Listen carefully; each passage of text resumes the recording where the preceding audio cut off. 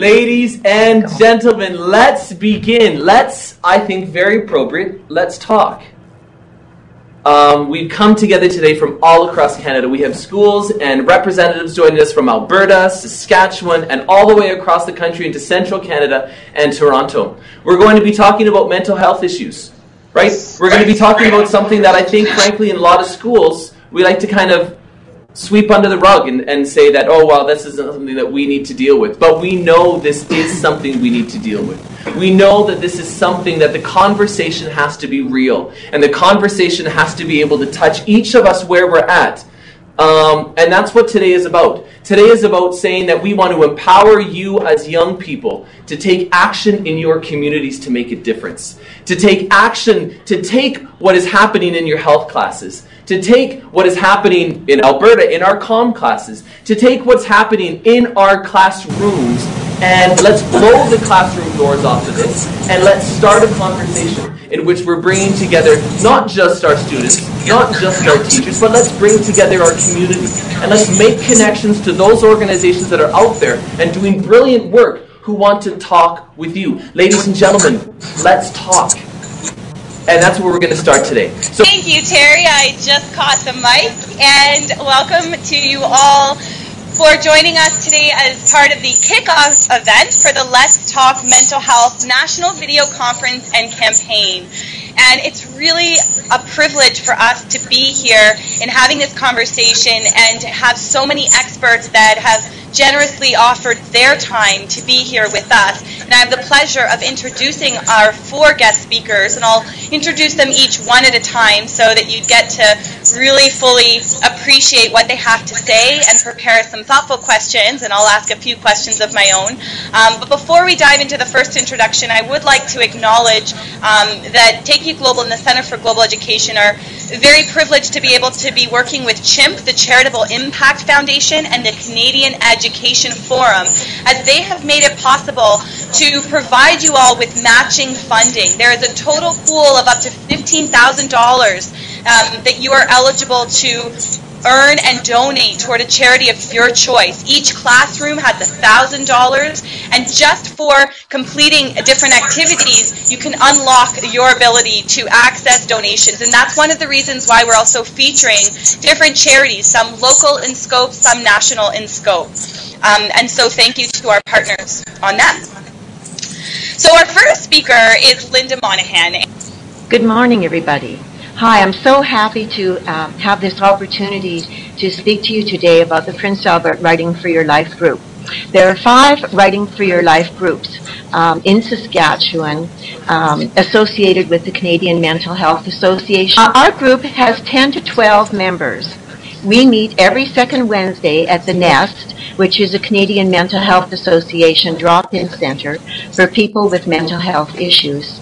We gather around a big table. Everyone has their own colorful writing folder with their name on it, and we have a big basket of pens. And for two hours every second Wednesday morning, we write. I give the group writing exercises designed to help them access material from their own lives. Here are a few of the writing exercises I use with the group. Who are you? What are you? Describe yourself to someone who knows nothing about you or ask them to write about a childhood memory or about a fear they may have. Each person is given the opportunity to read aloud the piece they have written. It's all about encouragement. There is laughter and there are tears. In the group, we often speak about the value of creative writing as a positive means to deal with emotional issues and how writing can be very, a very healing act and a powerful tool for coping with mental illness. Not everyone in the group is able to write easily or well. There are people who are dyslexic, those who have physical as well as mental challenges, but everyone gets the chance to have their story written down. For those who need help, I write while they tell me their story. The group is not about trying to create great works of art. The members in the Writing for Your Life group write, as the name suggests, for their lives to be able to say, this is me, these are my thoughts and feelings. We all need to be heard, and writing about what is alive and real for us to give voice to our worries and fears, to everything that matters to us, is so important. Many of the Writing for Your Life participants have gone on to have their poems and stories published in the pages of Transition Magazine, a publication of the Canadian Mental Health Association. Seeing their work in print has been an amazingly positive experience for the group, something of which we are very proud.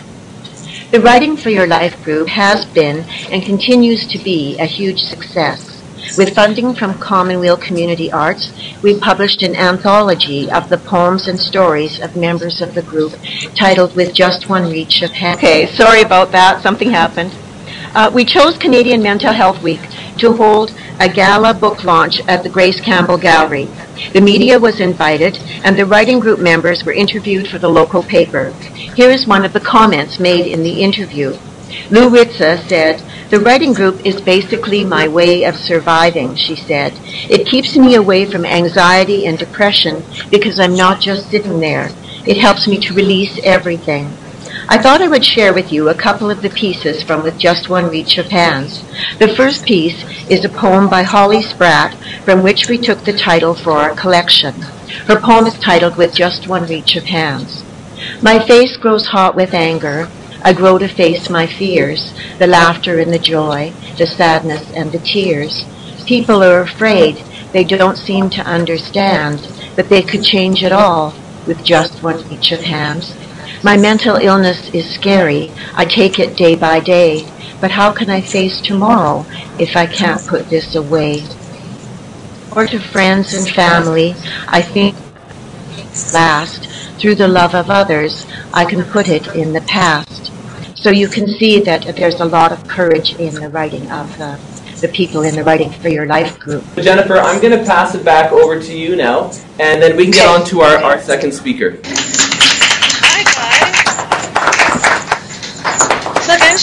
She me. My name is Jessica. I am. Can I sit up more? Yes. I'm a recreation therapist, and I've been doing that for about five years at the Center for Addiction and Mental Health. Uh, longer before that, but it's uh, it's a really great experience to be able to help people with their recreation and leisure lifestyles.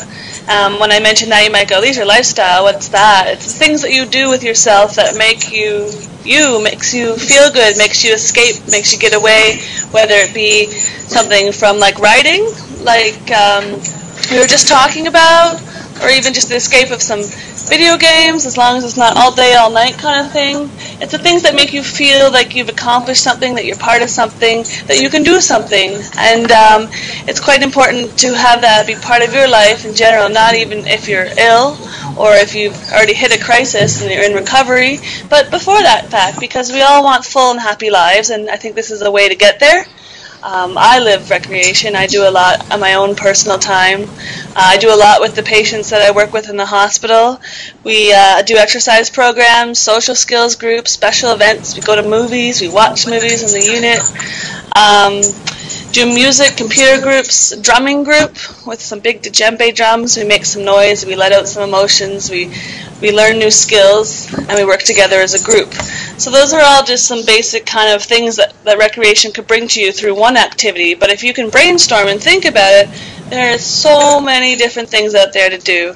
I mean, that could be one of your tasks to sit there and just brainstorm all the activities so it could be a reminder of your opportunities because it isn't just limited to what you can think of. Maybe someone else can think of some other ideas and some other activities and things that will make them feel well. So, um, I'm not sure how much time I have, but I guess the big thing I want to kind of push home for you is what are those tools? What are the things that you're going to use and, and make you feel well? Make your own personal brainstorming list. What, what's your go-to when you can't even really get out of bed?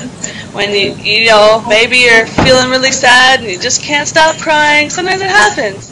And what are you going to do? Maybe you could like put your iPod on, listen to some music, or watch some videos, or do that one thing that kind of pull you out into the next moment. And then maybe after that you could go out for a walk, clear your head, uh, check out some gardens, enjoy nature, things like that. Like it's just very little things, but they're just part of kind of engaging in recreation and pulling it into your lifestyle, so you can just live that lifestyle. Um, and then my other thought for you, question for you is how can you find it? How can you find these things? And it, it's a matter of I could tell you all day, well, try this and explore that, but it's some process that you need to start to experience and find what makes you feel good and what makes you whole and what makes you feel like you've done something good today, even though it could just be for you. Maybe your friend doesn't have to know. You, know, if it's within a, you know something safe but it doesn't have to be something that everybody knows you do but and it doesn't have to be something you're amazing at but just something to do to take your you know self and feel like an hour's passed and you don't know how it happened but you were just doing something that made you feel good i think it's important that you believe in yourself and you belong with something with you know your friends or you belong to the values that you have and you can feel that you're part of something that makes you feel well on your own level, and then you become what you desire in this kind of way. I know it's a little airy fairy, but I think it's just a matter of doing it and experiencing it and seeing how um, different recreational opportunities fit into your life. Uh, what, what, I'd like to do now is, uh, Terry, I know we wanted to involve, involve, the students in taking a moment to gather a question together, so uh, for either of our guest speakers or to even share an experience. Um, so rather than throw put you guys on the spot, uh, Terry, why don't we just take a moment now so that the students can come up with a question for either of the first two guest speakers before we introduce the next speakers. All right, so I'll tell you, this room is buzzing. Okay, so we have some great questions here. We have some great questions that are posted on Twitter. But let's go across here to a young man. Can you introduce yourself? Oh, I'm Willie. And Willie, what school are you from, Willie? Uh, Major General Griesbach. Major General Griesbach. And what part of Canada are is Major General Griesbach? Edmonton. Is it Edmonton? Okay, all right. Willie from MGG in Edmonton. Over to you, sir. Oh, okay. Um, what do we do when a person feels like they have lost hope? Okay, and who should we try? Let's pass it over to Linda first. Linda, can we pass that to you? What? Do, can, one more time, Willie, nice and loud. Uh, what do we do when a person feels like they have lost hope? What can you do when you feel like you've Linda, lost did that come hope? through? Yes, it did. Yeah. What you can do, and what I do when I when I feel that I've lost hope, is uh, that's when I turn to writing. Journaling has always been a large part of my life. Um, my mom died when I was in my teens, and when that happened, I needed a place to turn to with my grief and my fears for the future, and uh, all worries that went along with what happened to me. And so I started to do journaling, and that's always been a place that I turn to when when I feel hopeless. Is when I turn to my writing a lot of That's so powerful. Thank you, Linda. And Linda, just giving you some some feedback. There's uh, on Twitter. There was a number of people who were commenting about. Uh, again, Corey Fraser talked about the power of writing to uh, to lift stories. Yours and mine are so powerful in reducing stigma about mental health. So Corey brought that same point up, and how creative writing is a powerful tool in exploring mental health. Thank you, Corey, for sharing that on uh, on Twitter. Um, Jen, do you want to pull up uh, some of the inter- do you have uh, another tweet that we have over there that came up? Yeah, um, or Jessica, did you want to comment first on the resources of if, if someone uh, feels that they've lost Yeah. hope? That's true. I mean, there's a lot of stuff out there. There's things online. There's um, distress centers. There's CAMH has an emergency room ER. It's in Toronto, uh, at College in Spadina. Uh, that can get you connected with the resources that you need if you're in that state. Um, there's even just speaking out, like, I know it's terrible, it feels like it'd be horrible to walk out your bedroom door and be like, Mom, like, I've arrived at this spot. But it's part of, like, getting the help you need. Or even alternatively, when I was 16, I went out and got my own therapy, set it up myself, went to secret appointments, didn't tell a soul, but it's what I did when I felt hopeless. I got the resources and the support that I needed. So it's a matter of building your own safety net to support yourself while also then relying on other people and, and seeing that there is a light within the darkness. There really is. You just have to look for that one star in the sky or that that one, you know, moment where you kind of you can feel it or see it or sense it and then just run with it. That's what I feel. I think it's most helpful for me. Okay, um, sorry, I keep disappearing. Um, I, I really have spent time feeling that I was lost and had nowhere to turn to. But I, I think it's really important to surround yourself with people who love you and care about you. Um, it's important to have a village, I think, um, when you have a mental illness. To know that there are people who care and love you and will support you and help you to get the, the kind of support that you need out there. Family and friends can be everything, you get better. Linda and Jessica, thank you so much for what you shared. Uh, Linda, your work is so powerful. Creative writing, creative writing can save and change lives. So thank you for that. And Jessica, in terms of recreation, another amazing way to stay healthy and, and stay alive. Um, I love that this conference is called Let's Talk Mental Health because um, it's an amazing title because it's exactly what we need to do. And the charity that I'm associated with today is my friend um, Scott has a charity called Collateral Damage. Uh, he also lost his father to suicide, and he started a program where he takes photographs of the friends and family left behind by people who uh, committed suicide. And his slogan is because not talking about it isn't working. And keeping uh, issues like mental health and suicide in the closet is doing a lot of damage.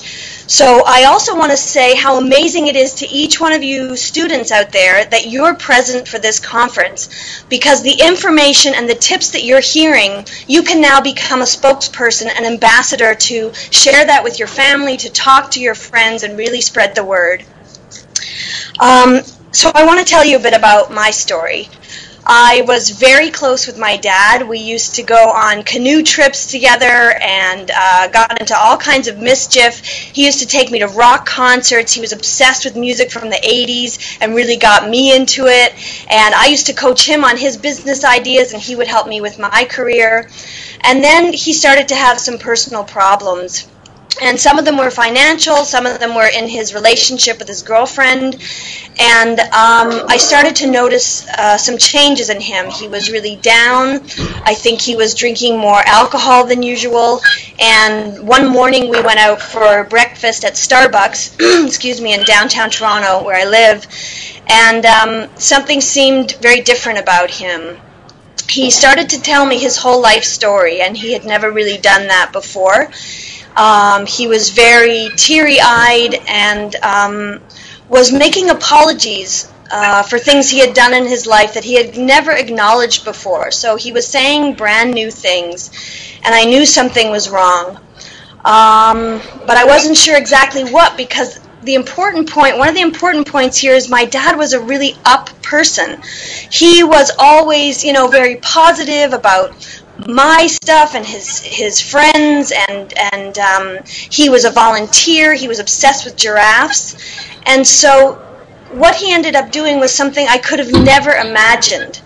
And um, uh, what happened was he told me and my sister that he was going out of town for a few days um, he didn't say exactly where he was going and he but he did say when he would be back and um, uh, we got a call later that night that he had ended his life.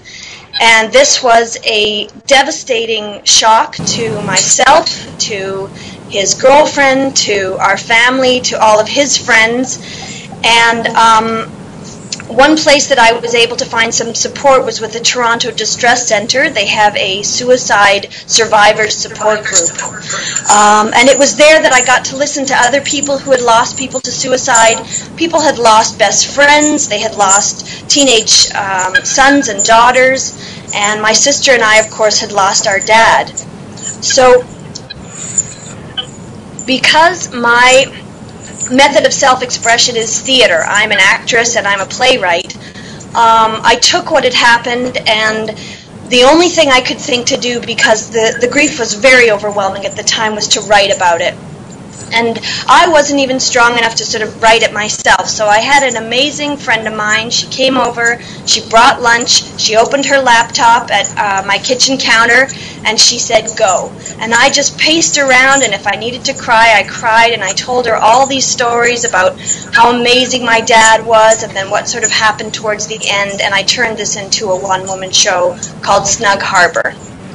And when I performed the show in Toronto, I made sure that we had a question and answer period after the show. And that's because part of the healing process for me was to share the story. It's so important to talk about what has happened or what is happening. And then what was amazing was we would turn the lights on after the show, and I said to the audience, you know, does anyone want to share um, stories that they have connected with mental illness, depression, or suicide, and people really opened up. People talked about suicidal thoughts that they'd had themselves. They talked about losing loved ones. Um, a young woman came up to me after the show and she said, um, "We think that our dad is suicidal, and um, and I'm thinking of bringing him to see your show."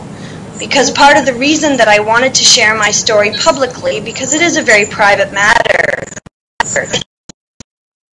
one person could hear how much pain it causes when they choose to end their life if they could be made aware of how much they would be missed. If I reached one person it would have been worth it.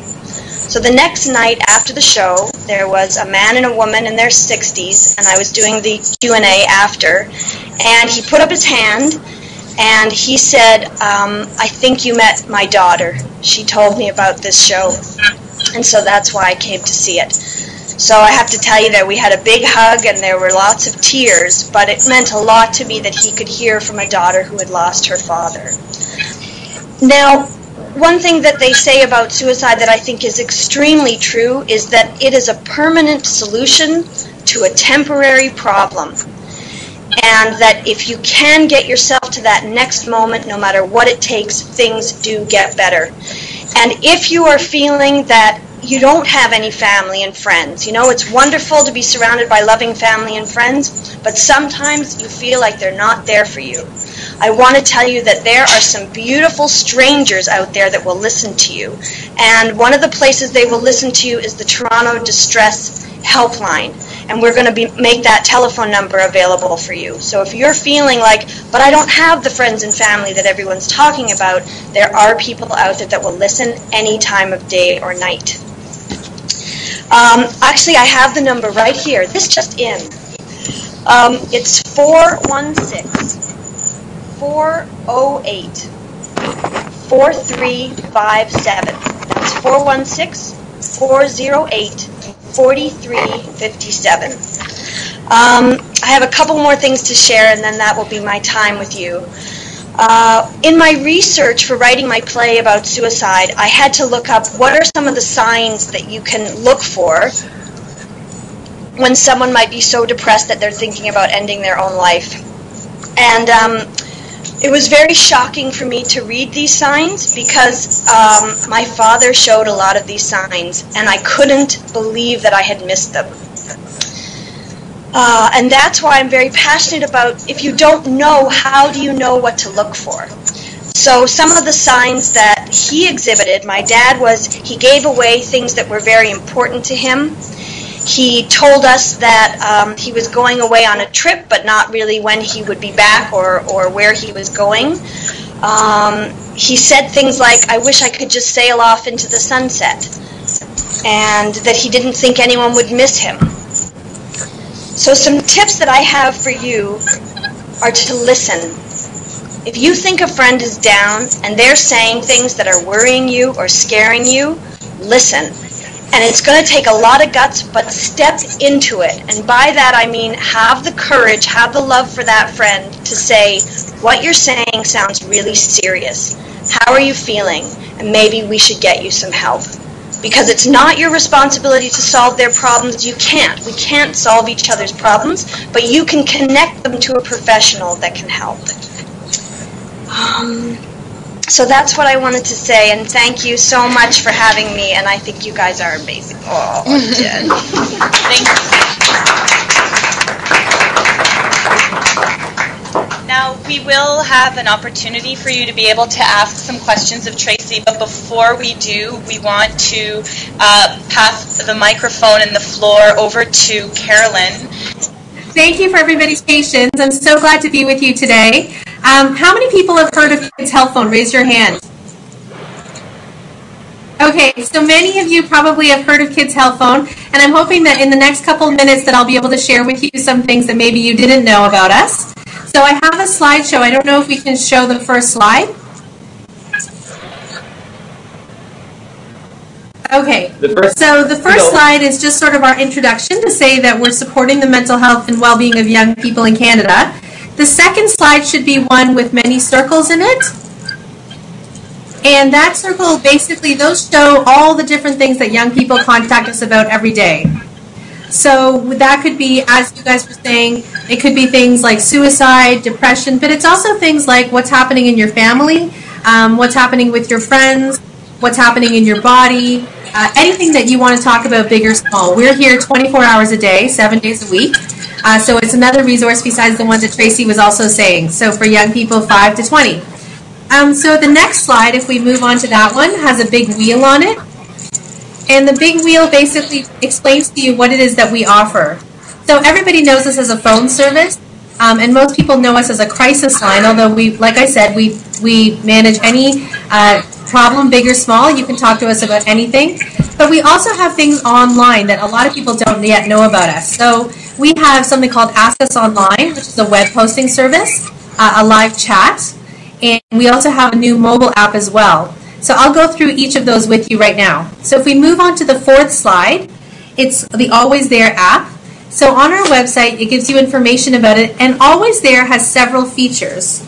Um, we'll move on to the next slide, and I'll show you the first one, which is that it is our information booth. So you can find information about a number of different topics online uh, in the privacy of your own smartphone. Um, and so you can download that app for free. It's again, it's called Always There. And we made sure that it wasn't called the Kids Help Phone app. A lot of you tell us that the reason you use Kids Help Phone is because it's totally anonymous and confidential. That means that we don't need to know your name, we don't need to know anything that you don't want to tell us. So it's completely non identifying. So calling it always there also protects people's anonymity and confidentiality because it's not called Kids Help Phone. So if we move on to the next slide, it should have four panels on it. And the four panels show you some of the features of the app. So the first one on the left is called Feelings Log. So that is where you can choose from a lot of emoticons and choose uh, basically how you're feeling that day. So let's say on Tuesdays you're having Tuesdays there's a certain uh, time of day where you start to feel down. You can record that, and then if you want to, you can share that with someone else. You can let them know, and for yourself, uh, better understand sort of what your moods are during the day. The second panel um, shows all those different emoticons, and the third panel shows um, some of our stress busters. That's another feature. So you have inspirational tips, quotes, um, uh, things that are submitted from young people that are encouraging to one another. So that is uh, one of the pieces that we've got in our app. And then, like I said, we can uh, you can look up information on our information booth, as well as at the touch of a button, reach us by phone uh, any time of the day or by live chat when it's open. Okay, awesome, great. So I've already taught you something a little bit new. That's good.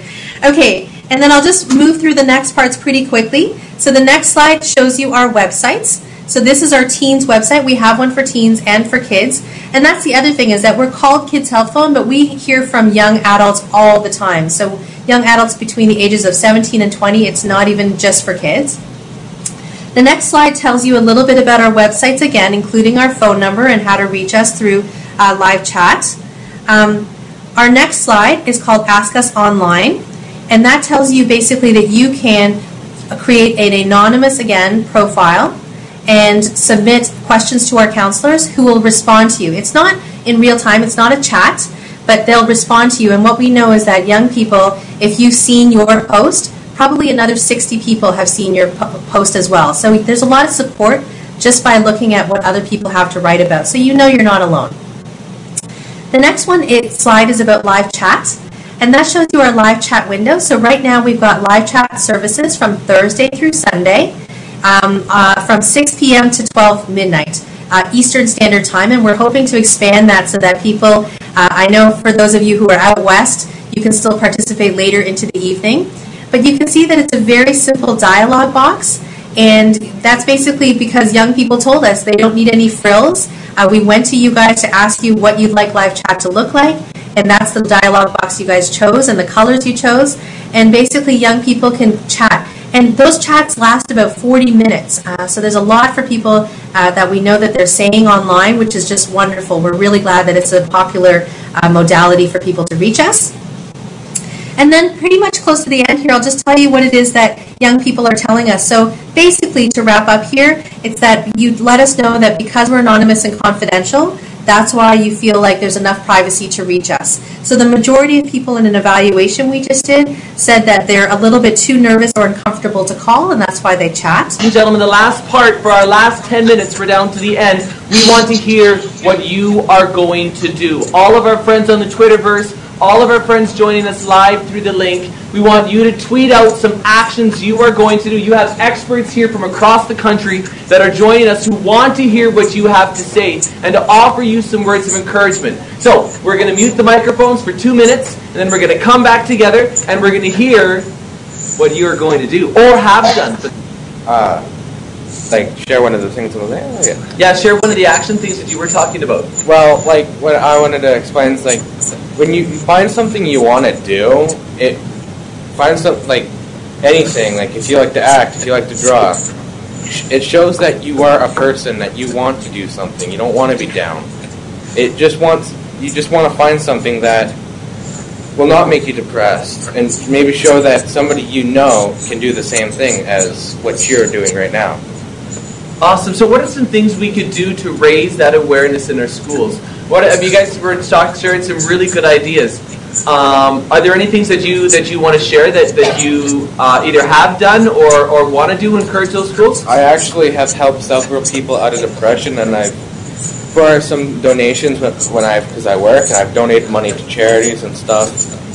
I've felt like they need to be treated like a person and not somebody that's not normal. They are just as human as all of us. Yeah, yeah. So listening to that, what about? Are there any school-wide ideas of things that have uh, that have been talked about? Maybe we have one here. Uh, Ms. Melanie, would you like to talk about one of the uh, ideas that, that the schools are looking to actually collaborate on? Sure.